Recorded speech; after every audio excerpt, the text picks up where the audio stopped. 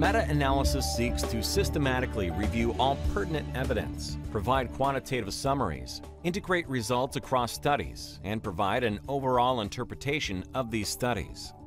We will consider a dataset that contains summary data for 34 randomized clinical trials that were conducted to study the effects of cholesterol-lowering treatments.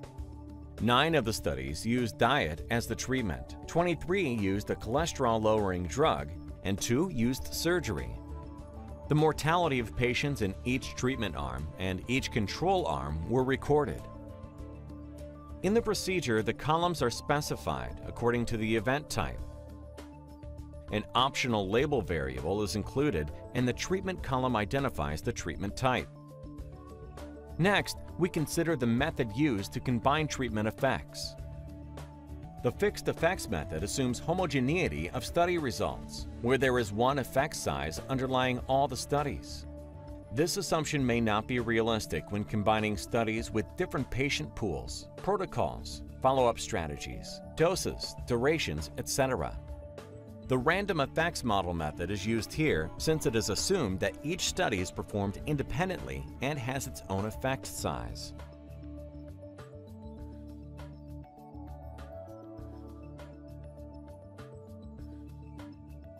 When the procedure is run, we can go to the third and fourth reports to see the results of the significance tests.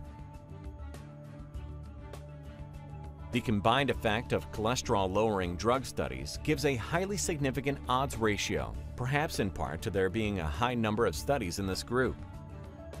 The diet group also shows significance for the non-directional test, the overall combined treatment is also highly significant, probably driven by the drug studies.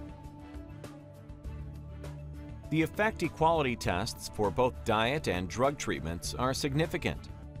These further assert that the random effects model was the proper model choice for this analysis.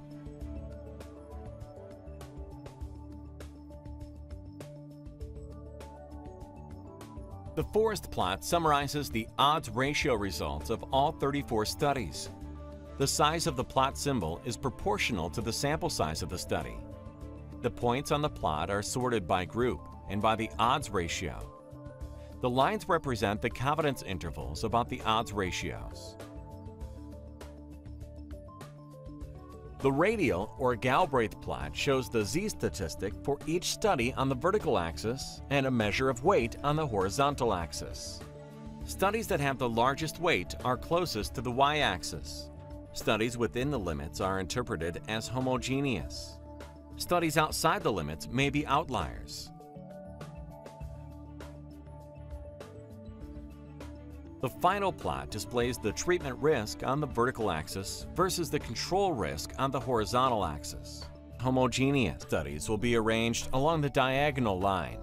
This plot is especially useful in determining if the relationship between the treatment group and the control group is the same for all values of the control group risk.